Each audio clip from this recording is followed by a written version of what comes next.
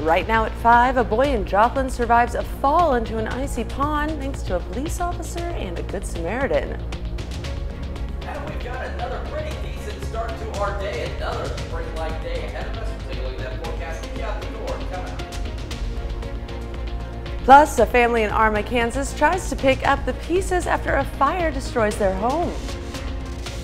The four states' most watched news starts now.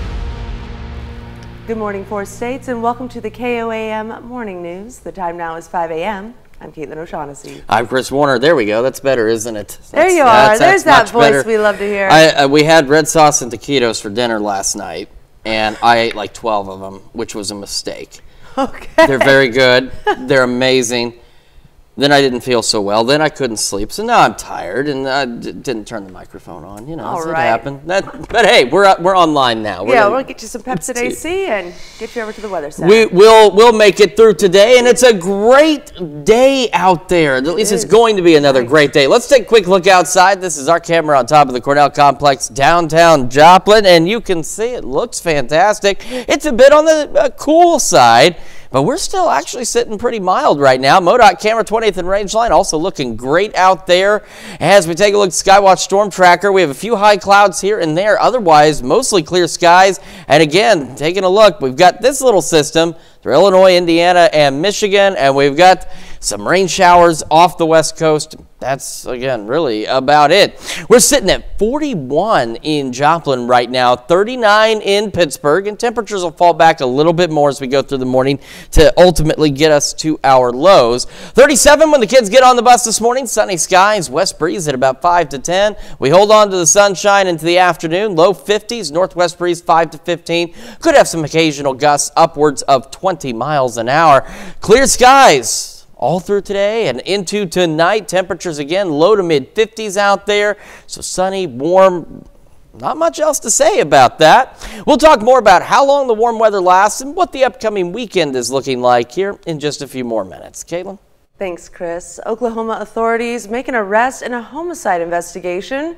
On the evening of January 5th, the Miami, Oklahoma Police Department requested assistance from the Oklahoma State Bureau of Investigation concerning a possible homicide. During the investigation, the OSBI determined there was an altercation between multiple individuals near 2nd Avenue, Northeast, and H Street. That incident led to the shooting and death of this man, 27 year old Matthew Vincent LaCastro. Based on the investigation, an arrest warrant was issued for this man, 34 year old Travis Christian Wilbur. On Friday, Wilbur was arrested on a charge of first degree murder. A Joplin police officer and an anonymous Good Samaritan joined forces to rescue a boy from an icy pond. Reports of someone falling through the ice at Mercy Park alerted Joplin police Sunday night around 6. Authorities say a 12 year old boy fell through the ice with his head above water. A Good Samaritan and a Joplin police officer jumped in the water to rescue the boy. METS treated the boy on site for non life threatening injuries. The Good Samaritan left the scene without being identified. And students at McDonald County High School yesterday gathered to learn history straight from the mouth of a Holocaust survivor. Erica Schwartz lost her entire family except her mother during the Holocaust. Counting her blessings and focusing on them was her key to happiness afterward, a key she wants to pass on to the younger generations. I wish to God I had my family, but I have used that um, as a means to remind myself every day of how blessed I am.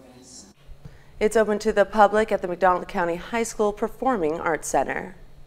And a young family in Arma, Kansas lost everything in a house fire that took place last Thursday. Kaylee Ware and her fiance, Chad O'Banion, woke up early Thursday morning to smells of smoke and quickly realized that their home was on fire. Though the family all made it out safely, their house is destroyed and they are now trying to start over. KOAM's Elise Noe spoke with the family to learn how they're overcoming this tragedy. It's honestly the last thing we expected to happen to us. Kaylee Ware and her fiance came back to visit their Arma, Kansas home days after it had been destroyed in an early morning electrical fire. At first, it was just like panic, get our kids out of the house, you know, and then it turned into um, once I got them taken care of, I looked and it was just devastating to watch my house burn down. We brought we brought both of our girls home in it, so it was just kind of hard to see all those memories that we built in this house just kind of burn away. Kaylee and her fiance Chad are now trying to rise up from the ashes and start anew, something they say wouldn't be possible without the support of their community. We received a lot of clothes and diapers, which was tremendously helpful because we lost all of our diapers that we had just bought. Um, and all of their clothes are pretty well gone, but we've received a lot of clothes. Um, we're still needing like household appliances like blankets and pillows. Through tragedy, Kaylee has found a positive outlook, something she says she does for her daughters. Our children read off of us and they feed off of our energy. So I've really tried to keep a positive energy for the girls. As hard as all of this is, it was just a house. Our family is the most important thing and they're safe and we're okay take it as a life lesson and grow from there. The couple will be looking to tear down the house and continue to live on property. Kaylee and her family are accepting donations from those willing and able to help. For more information on how to help, you can visit our website at koamnewsnow.com. And that's a look at this morning's top stories and weather in our first seven minutes. Coming up on the KOAM Morning News, the Golden Norsemen haven't lost in nearly three months. Can they keep us up? Plus, bullfighting returned to Mexico City, but some are not happy to have the event back. And we have a nice sunny day today. We'll have what to expect with Chris Warner in the Skywatch Weather Center. You're watching the KOAM Morning News. We'll be right back. News Your Way, powered by KOAM News Now.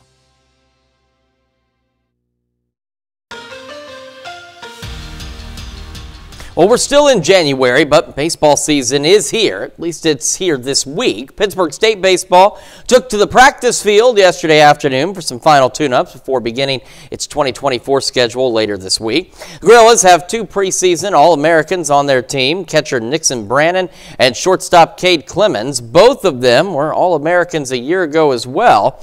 They each have high expectations for themselves and the team this year. Gorillas' first chance to prove what they've been working on all offseason comes on Thursday. We've been practicing some bad weather, but it looks like we have a chance to have really good weather this weekend in Oklahoma, and we get an opportunity to play four on the first weekend. So we're going to learn a lot about our baseball team this weekend. I'd like to repeat the year, get named another All-American. I want to win a Gold Glove. I mean, the the list goes on. I mean, but as a team, I know I just want to win a lot of games, want to have a lot of fun. I mean, I'm a big fun guy. Everyone loves to have fun on the baseball. Baseball's fun, so uh, you know, just go out there and play the game, enjoy it while you can. I just want to come out and you know take it one pitch at a time and try to do my thing and continue the successes, but not really worry about it too much.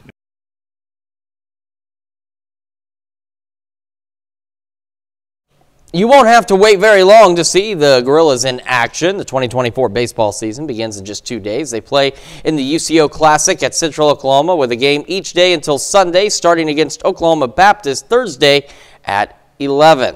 Missouri Southern Baseball starts at the same time. The Lions begin their 2024 campaign on Thursday at 4. They play in the Dugan Invitational in Hot Springs, Arkansas. We'll hear more from the Lions before they leave later this week. Well, think back to November 4th. Chiefs are 6 and 2, playing in Germany the next day. Pitt State football loses its only regular season game to Missouri Western, and NEO men's basketball loses to Hutchinson Community College. Golden Norsemen haven't lost in the nearly three months since.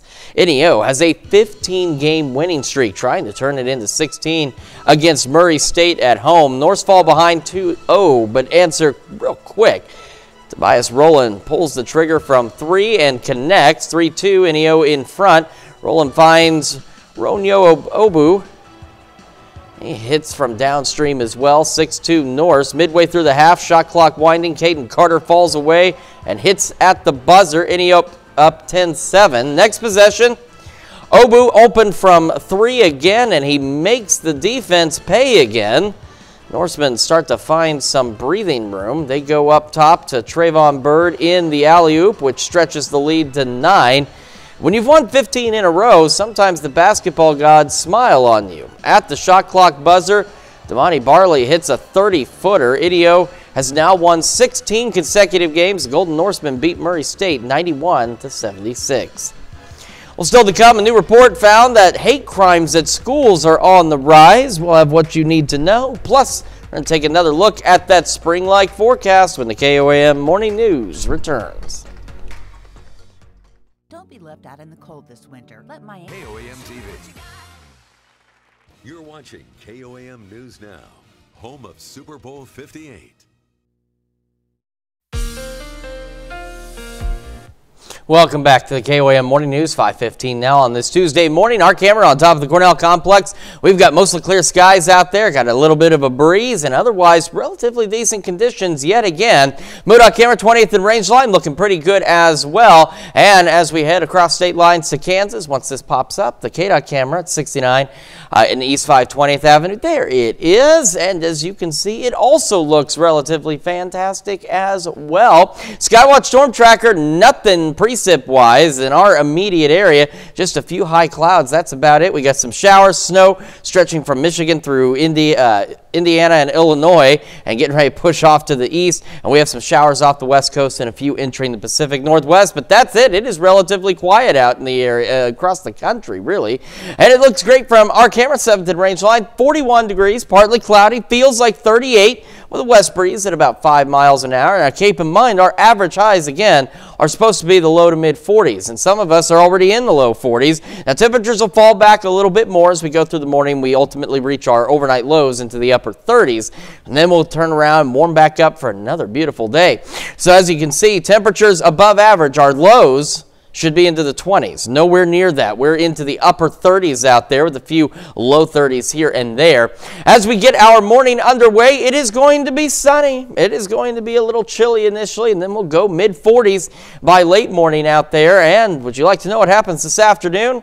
A lot more of that. Sunshine across the area. We are looking at sunny skies, temperatures into the mid 50s, so roughly 10, 12 degrees above where we should be for this time of year. And like I said, I was talking to, uh, to Caitlin about this yesterday and to our producers. This is the first time in like three weeks that there hasn't been much to talk about in the weather department which is a nice little break. It's been kind of hectic the last few weeks around here. Well, mostly clear skies tonight, so just a few clouds out there. Temperatures will then, again eventually fall back into the mid to upper 30s for our overnight lows, so we continue to stay above average. As we go through the rest of the week, another sunny day tomorrow, getting close to, if not reaching 60 degrees, and perhaps a little warmer than that. We are looking at 60s on Thursday and Friday. A few more clouds on Thursday. As we head into the weekend, we'll see rain chances increasing, so unfortunately, just in time for us to be off work. Even though the temperatures still aren't bad, we're looking at rain chances Friday, Saturday, and Sunday, with the best chances for those being on Saturday. They even carry into Monday. As we head later into next week, though, don't worry, just in time to go back to work. The sunshine will return. There will be some clouds here and there, and the temperatures warm back up again as well. Take a look at Tuesday, Wednesday, Thursday, back into the upper 50s out there. So again, we are 15, even in some instances 20 degrees above normal uh, over the next several days, save when we've got this rain coming in. And take a look at those overnight lows. Coldest nights are Sunday and Monday, but otherwise it is looking pretty good out there. That is a check of your forecast. We will be back with Health Watch right after this. The recipe to making a great partnership. With a crackpot. Judge Judy Weekdays at 4 on KOAM TV. Topping Health Watch this morning, a new report from the Justice Department found that hate crimes at schools are on the rise. The number of hate crimes at schools more than doubled from 500 in 2020 to more than 1,300 in 2022. Of all the hate crimes in the U.S. in 2022, 10% occurred at schools, making it the third most common location for them. The most common spots are on the street or in a home. According to the report, most offenses involve intimidation, vandalism, and simple assault. And they are mostly motivated by anti-black bias, followed by anti-Semitism and anti-LGBTQ bias. This is the first time the FBI and Justice Department released a report on hate crimes at schools. The educational institutions range from elementary schools to universities. And measles cases are on the rise. That's according to an alert issued Thursday by the Centers for Disease Control and Prevention. The CDC is warning health providers to be on alert following several outbreaks, largely among unvaccinated children. Health officials have tracked nearly two dozen cases of the virus since December. This comes as vaccination rates have dropped in the U.S. According to a CDC report, the country reached a record level of vaccine exemptions last school year, and the U.S. is not alone. Officials have seen similar upticks in measles cases around the world. According to the World Health Organization, in 2022, there were 9 million measles cases of measles. And a new study suggests Alzheimer's disease may be transmissible in certain very rare circumstances.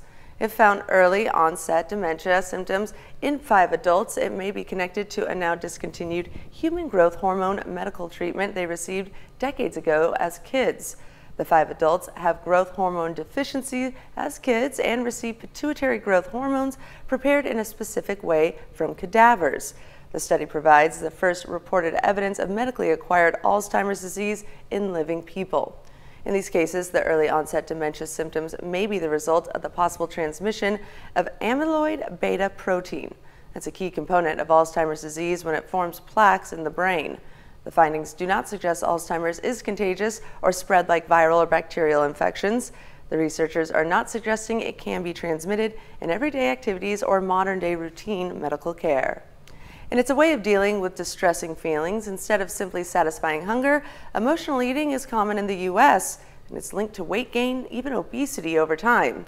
According to a study published by the National Institute of Health, and Mandy Gaither has ways to recognize and avoid eating your feelings away.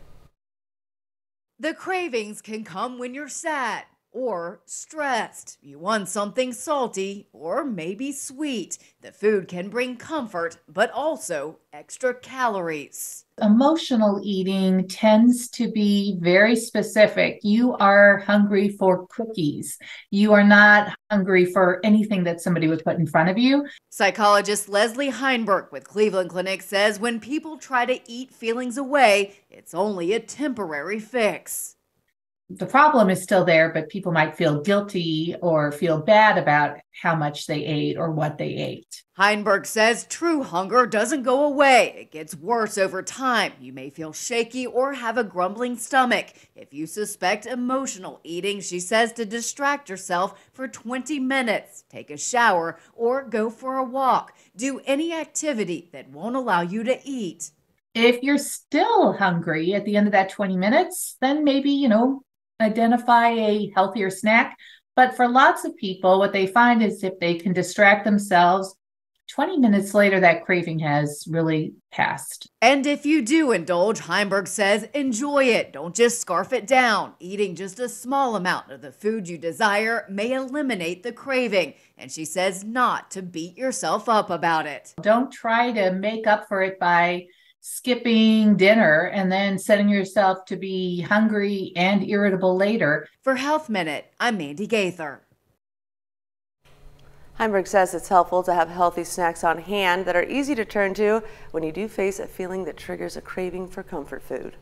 And that's a look at some of today's top health stories. You're watching the KOAM Morning News. And we've got ourselves another gorgeous spring-like day ahead of us. Those temperatures will continue. We're also watching some rain chances. We'll have another look at your forecast when the KOAM Morning News returns.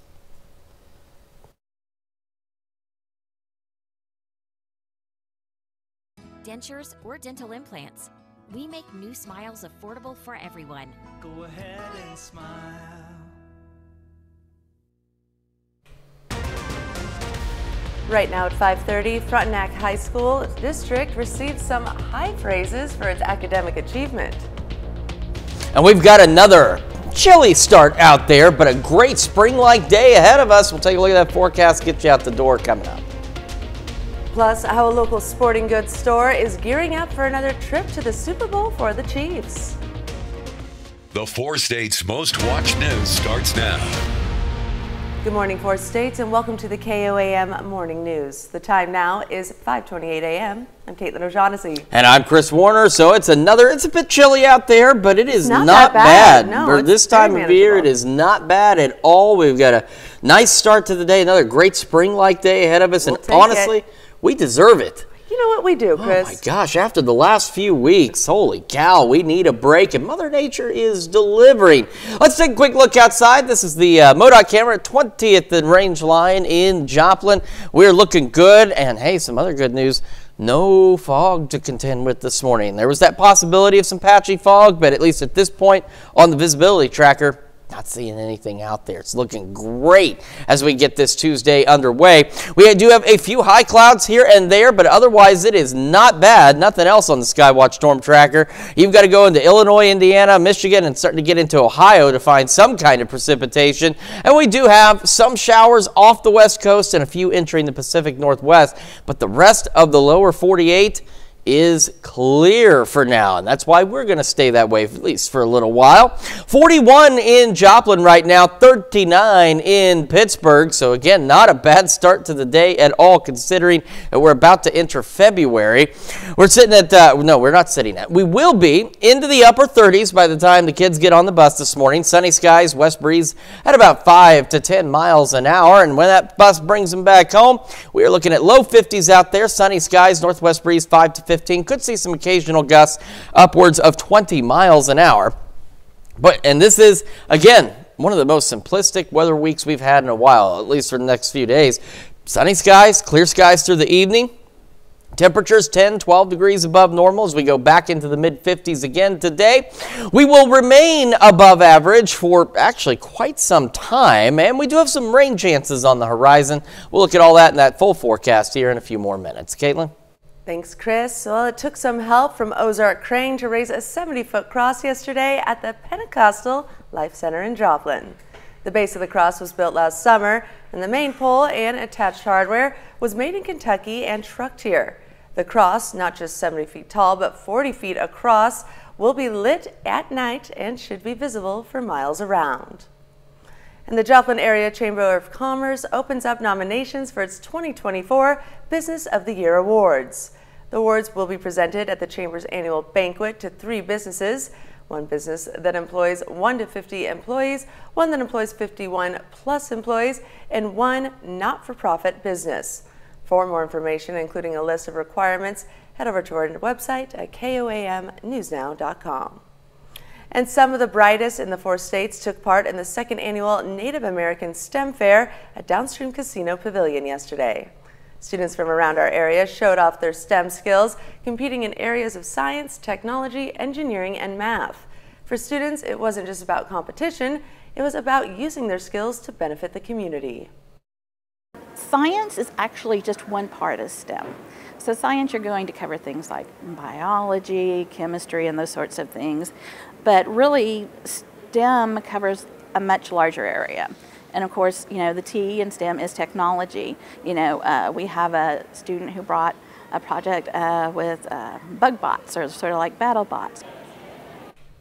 Prizes were awarded for first, second, and third place in each division, as well as medals for overall winners.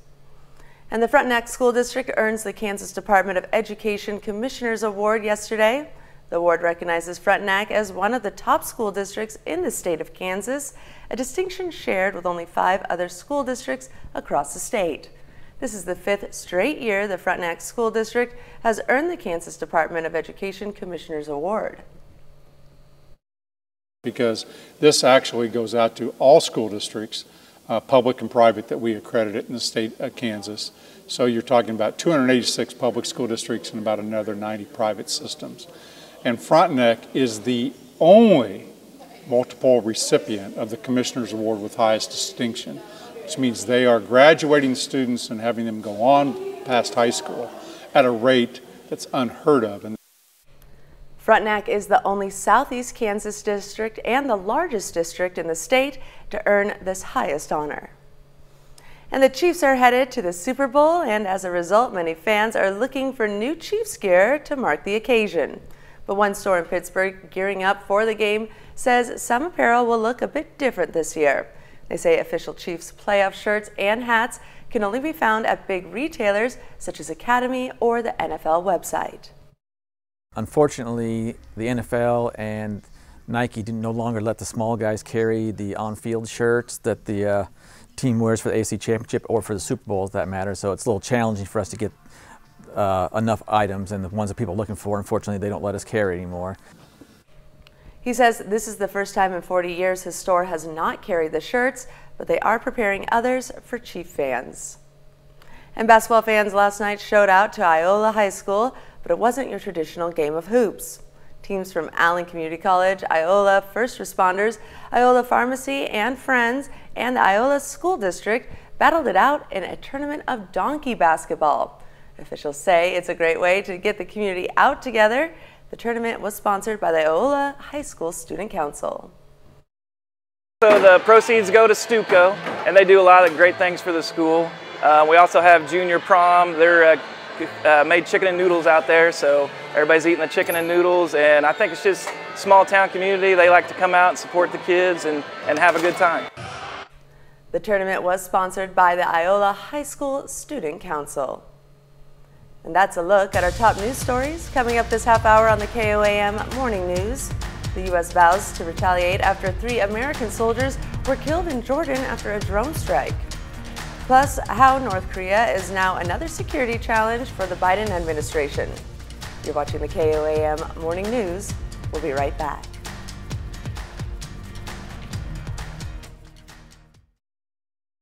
Eighty-seven and running.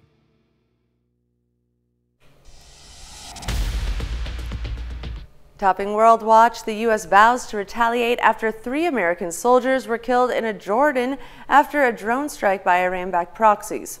Some worry about creating a larger conflict in the already volatile region. Correspondent Connor Hansen has more from New York. The Pentagon released the names of the three U.S. soldiers killed by a drone strike at a remote base in Jordan. Sergeant William Rivers, Specialist Kennedy Sanders, and Specialist Breonna Moffett were all from Georgia. President Biden in the Situation Room discussing possible next steps with his national security team. The U.S. is blaming an Iranian backed militia for the strike. From the outset, we've been very clear in warning that anyone looking to take advantage of conflict in the Middle East uh, and try to expand it, don't do it. The Biden administration added that it does not want to start a war with Iran. Secretary of Defense Lloyd Austin back at the Pentagon after surgery, meeting with NATO's Secretary General. President and I will not tolerate attack on U.S. forces, and we will take all necessary actions to defend the U.S. and our troops. There have now been at least 165 attacks on U.S. forces in the region. Some have been quick to criticize the administration's strategy. It's pretty clear that the Biden administration's policies have resulted in a huge conflagration. I hear people talking about whether we're going to end up at war with Iran. I, I can assure you the Iranians are at war with the United States today. The problem here is that this administration has not been responding. Eventually, those that you're shooting down their missiles will find ways around your systems. A U.S. official told Fox News that enemy drone wasn't shot down because it might have been mistaken for a U.S. drone returning to base. Farmers in France hoping to put pressure on the French government over issues with the agricultural industry. They're encircling Paris with tractor barricades and drive slows, hoping to gain some assurances on the future of the industry. The farming sector has been hit hard in Europe during the Ukraine war, with Ukraine being a major producer of grain for the continent. New Prime Minister Gabriel Attal has attempted to ease tensions, producing a series of pro-agricultural measures the protesters felt they did not satisfy their needs. The French government deploying 15,000 police officers in response to the protest. Protesters say they'll continue to put pressure on the French government to, quote, rapidly find solutions out of the crisis. And Russian figure skater Kamila Valieva has been disqualified from the 2022 Winter Olympics. The Court of Arbitration for Sport gave the disqualification on Monday, two years after the teenager tested positive for a banned heart medicine. Before she led Russia to win gold in the figure skating team event, the United States, who placed second, will now be named the Olympic champion in light of the change. Valieva will be banned from skating in any future Olympics until December 2025, just weeks before the 2026 Winter Olympics in Italy. And bullfighting returned to Mexico City on Sunday, but some groups are not happy to have the event back. Protesters gathered outside the plaza of Mexico Arena to show their distaste for the sport. There were about 300 people joining in chants and holding signs voicing their disapproval. In May of 2022, the human rights organization Justicia Justa filed an injunction claiming that the practice violates animal welfare and impacts individuals' rights to a healthy environment. The court ruled in favor of the organization and temporarily suspended fighting. However, in December, the suspension was revoked and the merits of the case are still being discussed. Despite some groups being against the events, the National Association of Fighting Bull Breeders in Mexico estimates that the sport is responsible for 80,000 direct jobs and 146,000 indirect jobs. And King Charles is out of the hospital. The 75-year-old monarch received treatment for a benign prostate issue at the London Clinic. He announced his surgery in advance in an effort to encourage men to have their prostates checked. Buckingham Palace announced on Monday that the king had been discharged from the hospital and that his public engagements have been rescheduled to allow time for him to recuperate. The Princess of Wales was also released on Monday. She was at the London clinic recovering from abdominal surgery. And another security challenge for the Biden administration, this time in North Korea. CNN Foreign Affairs correspondent Greg Palkot has more from London.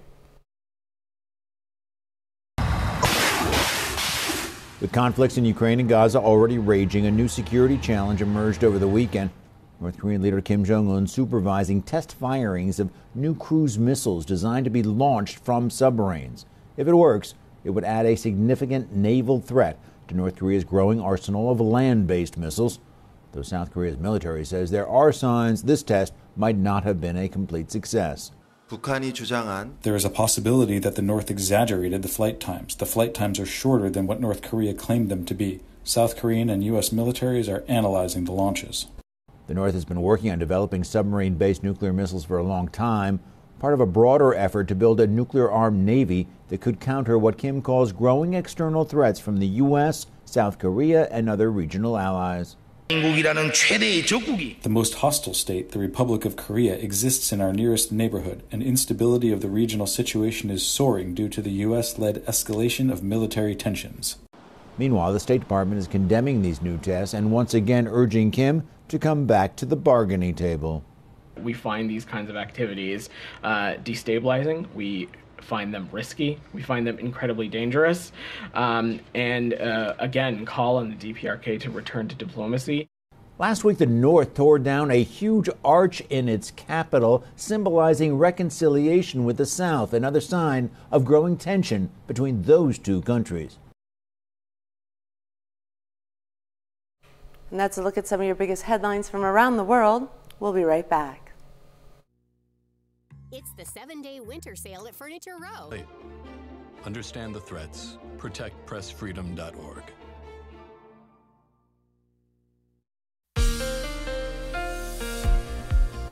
Welcome back to the KOAM Morning News. It is now 546, excuse me, on this Tuesday morning.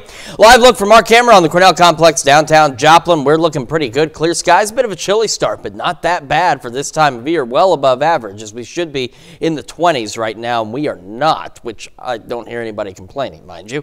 MoDOT camera 20 the range line, also looking pretty good so far. Same from the KDOT camera on 69 just south of Pittsburg. It's a pretty decent start to the day, and we've got another great day ahead of us. Sky Skywatch Storm Tracker is clear in our area.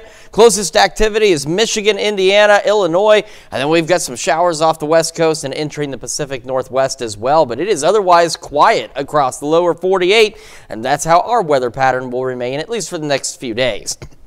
All right, our camera 7, the range line also looks great. Partly cloudy at Joplin, 41, feeling like 38 with that west breeze at about 5 miles an hour. Temperatures around the region, again, not bad. 36, Yates Center, 34, Iola, Fort Scott, 39, Pittsburg, Parsons, Independence. A little colder in Chetopa, 32, 33, Lamar and Carthage, as well as Monett. So, again, not a bad start to the day. Chilly, but again, keep in mind, all of these readings should be into the 20s right now, and thankfully, they're not. We get our morning started. Sunny skies, A little bit of a chilly start, not bad by late morning, mid 40s. As we head into the afternoon, another day right around the mid 50s, so that puts us about 10, 12 degrees above where we should be for this time of year. And we could have some gusty winds out of the southeast at about, say, 20 miles an hour. So nothing too crazy, but do be aware it could be a bit breezy. Otherwise, it is another gorgeous day out there. And we've got another relatively pleasant evening in store for us as well. We'll see a few clouds here and there as we go through the late evening hours and overnight, but again, otherwise not bad. We'll be in the mid to upper 30s once again. So again, another 10, 12 degrees above where we should be for this time of year. We go down the road and we're going to stay nice for quite some time. Now we do have some rain chances.